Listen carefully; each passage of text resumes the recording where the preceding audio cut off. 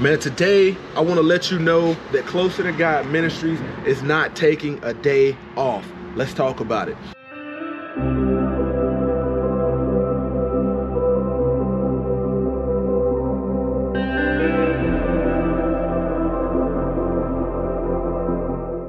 What's going on, Closer to God Ministries? Welcome back to another righteous, spirit filled episode.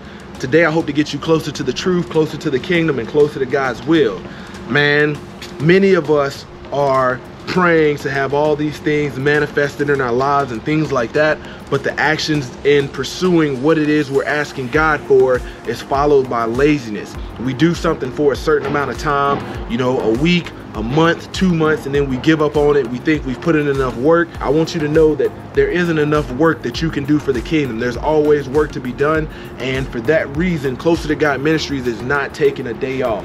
No days off, man. And the reason why I'll tell you is, man, for where where I'm trying to go in life and where I'm trying to focus all of my efforts, you know, is making sure I'm focused on God at all times. And I want you to know that even though I may feel tired, I may feel weary, may feel down, may, may feel sick, you know, God is not taking a day off on any of us, man. He hasn't spared any of his blessings, any of his protection, or anything like that. And for that reason, man, we got to keep on persevering. We got to keep on grinding. We got to keep on fighting the good fight, man, because there is a war going on, whether or not you like to acknowledge it or not. Maybe you don't even know what's going on, but there's always demons out here trying to take over your life, man, trying to get in position so we, they can take over the kingdom. And we're not going to let that happen, man, because I can tell you some of the worst situations that ever happened in my life. And you can go back to previous content when the channel was Urban Minds Inc. And I made it up out of those situations to be able to tell you guys about it, to be able to motivate and inspire you.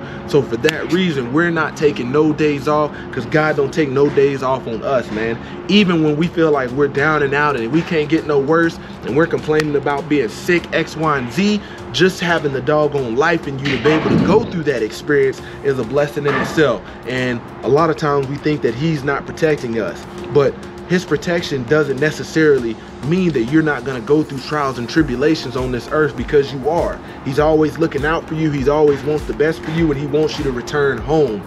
Don't forget to comment, like, subscribe. Check out the link in the description because I'm only shooting it gun barrel straight. Wow.